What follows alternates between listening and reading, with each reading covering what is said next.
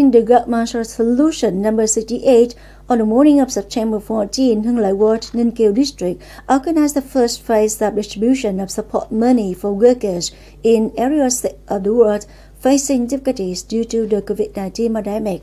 In this phase, 426 cases in Area 6 of the world were supported with a total amount of 852 million dong. Each case received 2 million dong.